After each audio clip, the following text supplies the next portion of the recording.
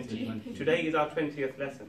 Yeah, so on the 20th lesson, we are going to have a serious argument in a domestic situation. Okay, and you're going to translate this for me one by one. So we're going to do one line each. So let's have Jasmine. Fatima says, Where are you? I want to go now, so we are not late for the flight. أين أن أنت؟ Good. أم، We'll write it on the board as you translate. أين Aina anta?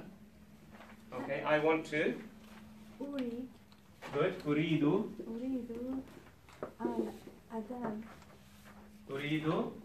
Al Adam. An. Adhaba. Adhaba. Al Good. Ad. Adhaba. Good. The an makes the adhabu into adhaba. Al-ana. Yeah? There is another way to say I want to go now without using an and a verb. What's the word for going? Adhaba. Good. So she could say uridu adhaba al-ana. Good. I want to go now. So we are not late for the flight. What's the word for so, Jasmine? Fa. And then um, we want to say we are not. Ah, so, so, so we will not be. What's the word we will be? To the verb to be. What's the word to say we will be? Kana, right? But we will be is? No, just we will be. I don't want to negate it now. Just we will be. Nakuno. So, and then negate the nakuno with a? Ala. So, fala. Yeah, so I need you to apply what you know. You know this. Fala, naku. Fala, nakunu. So that we will not be late. م- مت متهر متأخر متأخي is plural, so we we will not be late. لا نكون متأخرين ممتاز. لا نكون متأخرين. متأخرين. So we will not be late. Okay, now the word for flight is the same word for trip. رحلة ر- للرحلة لل للرحلة. تي. Good. للرحلة. So that we will not be late for the flight. You see? Now look at that. See how easy it is. So we will not be late for the flight. Now, Rashida. Um, you know, in the translation it says, so we are not, so can we use less than? Um, okay, but we are not would mean we are not now.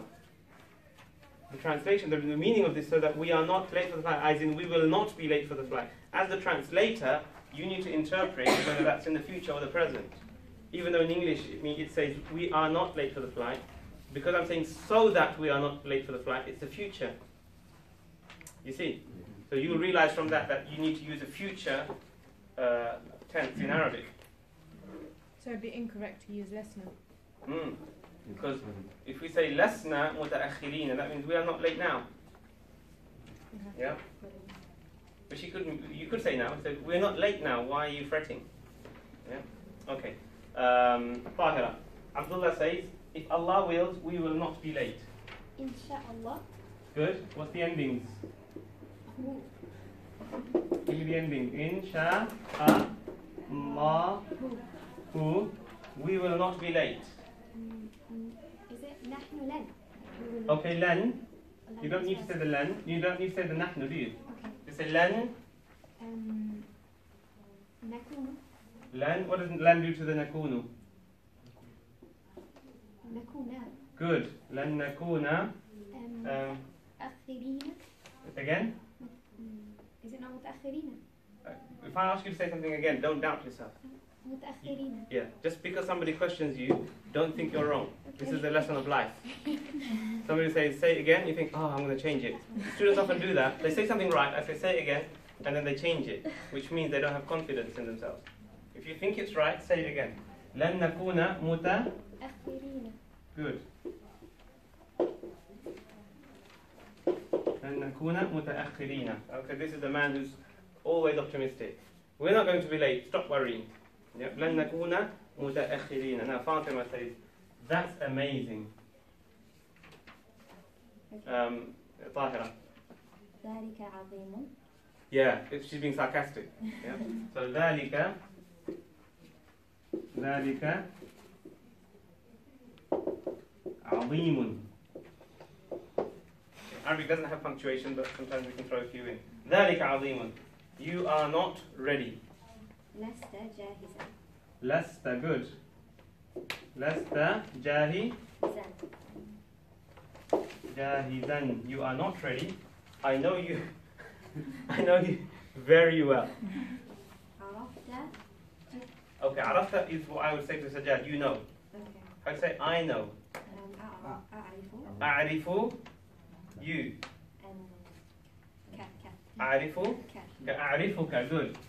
Okay? Now she could use a perfect verb to emphasize how well she knows him. Instead of saying Arifuka, she could say عرفتك. I know you. I, I do indeed know you. I knew you and I know you now. Okay? The perfect verb indicates completion. So she could say Arifuka or indeed she could say عرف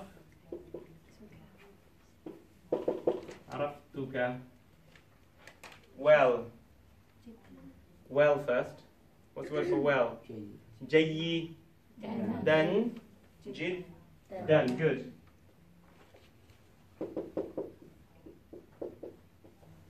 Can you not have jiddan first? Uh, usually it goes after. Yeah, جيدا جدا. Well done. Right, let's have Samiha. I am ready now, and I. So Abdullah is now um, trying to reassure her. I am ready now, and I will not be late. أم، أنا جاهز الآن So he says, أنا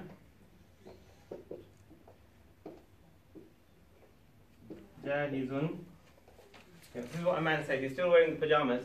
Uh, I'm ready. I'm ready. Yeah, أنا جاهز. ال الآن. I'm ready now, and I will not be late. ولن أكون متأخرا ولن أكون ممتاز ولن أكون مت متأخرا ممتاز Let's have let's go back to the beginning let's have Shabir Fatima she's now saying you are not ready آه، ولكن okay let's start with a ولكن آه، but you- you're not ready. Lasta. Lasta. Good. Lasta. Lasta. Janizan. Excellent. Yeah, very good use of later and uh, or later so far. Yeah. Lasta jahizan. Do you think I am a little girl? Hal hasibta.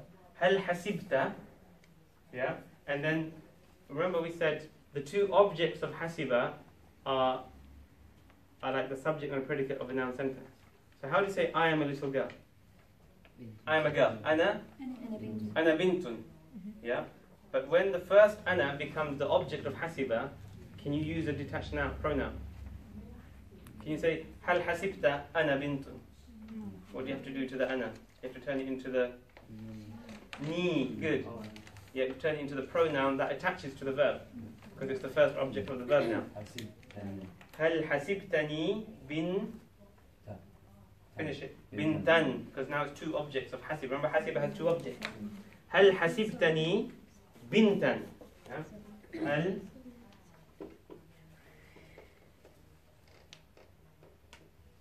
Hasibtani. Remember to put the elephant with the bintan. Now, a small girl. A little girl. What's with a small? Sari. She's a girl. Sari. Good. Sarira. Then. Yeah. Hal hasibtani. Now she's used a perfect verb to emphasize. Huh? Sorry, what bintan? Because when I consider something to be something, mm. that the verb consider has two objects. Yeah. I consider the cheese excellent. Yeah. So the, the word for cheese and the word for excellent are both objects of my, of my consideration. Yeah. So those verbs have two objects. Yeah. And if you take the verb away, the two objects would be a subject and a predicate in a noun sentence. Remember that? Yeah. So she says, "هل حسبتني bintan صغيرة." Now she uses a perfect verb. She's saying, "Did you consider me?" I try to emphasize the fact of how complete his false consideration is in his mind. You see? But she could use an imperfect verb. Well, how would you say in the imperfect? Yeah. Huh? تحسبني هل so it's حسب يحسب, isn't it? فهل تحسبني? That's what she would say. So she could say instead of حسبتني, she could say uh, تحسبني هل تحسبني بنتا so there you then. You can take a pick of that. We'll now take it off the board. You finish it? Mm -hmm. We've only done like one quarter of it. So that's just part one. Okay.